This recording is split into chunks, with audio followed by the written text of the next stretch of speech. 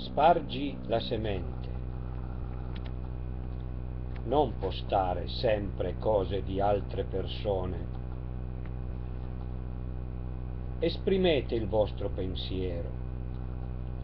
Voi non siete i pensieri degli altri. Non siate monotoni.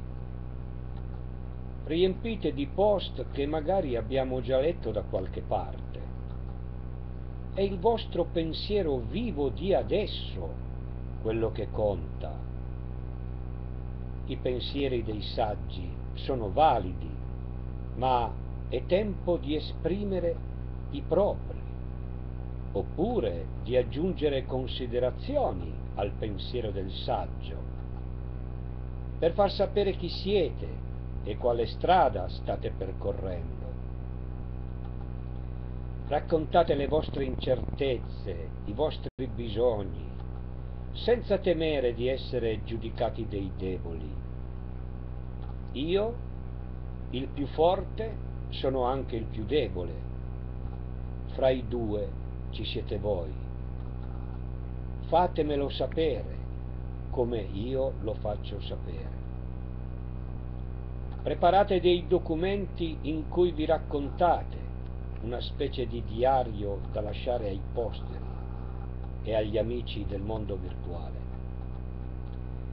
Preferisco leggere di voi che non conosco che il pensiero di chi so chi è. Troppo facile prendere dei testi da un libro e postarli. Fate conoscere il pensiero dei vostri amici e il vostro affinché non vadano dimenticati. E se proprio volete essere fieri di voi, provate a fare dei video, in modo che si possa sentirne l'anima attraverso la voce. È la, è la, voce il mezzo per farvi conoscere che abbatte le barriere che vi separano dai vostri simili. È il vostro viso che si esprime il mezzo per non scomparire come anima. Pensateci, cosa rimarrà di voi quando abbandonerete questo piano di esistenza? Uno scritto? Un pensiero? Un mi piace? Quale motivo vi fa nascondere al mondo? Molti giovani hanno bisogno di sapere che i loro dubbi sono anche i vostri. Hanno bisogno di trovare la loro strada e la stanno cercando anche qui.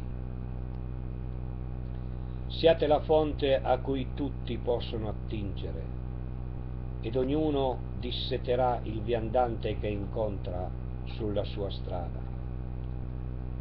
Diventate l'esempio per chi vi riconosce e che da voi trae insegnamenti reali e non soltanto teorici. Se vogliamo partecipare al cambiamento di questa società non dobbiamo aspettare che gli altri la cambino, ma dobbiamo essere noi per primi ad esporci, insegnando ai giovani ad avere coraggio e a loro volta per fare della famiglia umana una vera famiglia come se si parlasse a tavola, insieme a tutti i componenti della famiglia. Semplicemente una famiglia allargata che si occupa moltissimo di preparare i giovani alla vita, alla consapevolezza. Loro sono il futuro dell'umanità. Che cosa c'è di più appagante che sentirsi parte attiva questo cambiamento